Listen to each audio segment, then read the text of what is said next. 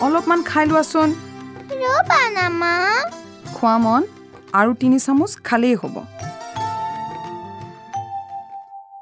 ৱা কি দেখিছোঁ মই? ই মোবাইল চাইছে নে ভাত খাইছে? নক'ব আৰু বাইদেউ সি মোবাইলটো নাচালে যে ভাতেই নাখায়। সেইকাৰণে ভাত খোৱাৰ সময়ত মই তাক মোবাইলটো হাততেই দি দিওঁ। কিবা এটা অকণমানটো পেটলৈ যাব? আজিকালি কি যে অভ্যাস হৈছে এইবোৰ? সি কি খাইছে ধৰিবই পৰা নাই। কেৱল গিলিহে থয় সেই সোৱাদবোৰো সিহঁতে গমেই নাপায় আৰু খাবলৈ আগ্ৰহো নকৰে। এবাৰ এই অভ্যাসবোৰ আঁতৰাই চোৱাচোন তেতিয়া খাবলৈও বিচাৰিব।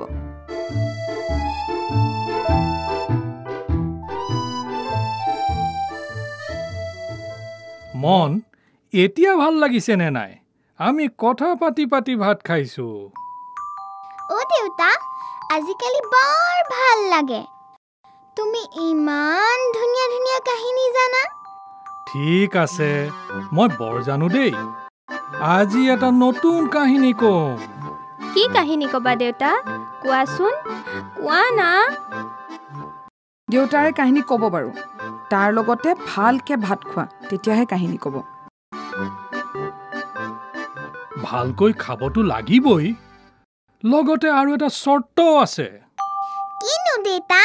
কোৱা না চৰ্তটো হৈছে কাইলৈ ৰাতিপুৱা কিন্তু হিয়া আৰু মনেও এটা এটা কাহিনী ক'ব লাগিব। অঁ মই চিলনী জীয়েকৰ সাধু ক'ম। মই লটকনৰ কথা ক'ম।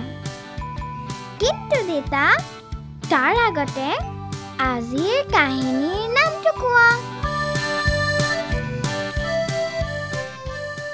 আজিৰ কাহিনীৰ নাম হৈছে ফলৰ মজা পাচলিৰ ৰজা। এতিয়া বুজিলানে? ফলৰ মজা পাচলিৰ ৰজা আৰু জাংক ফুডৰ চাজা। চাজা মানে? সেইদিনা যে চিপছ খাই পেট বিষাইছিল মনত আছে?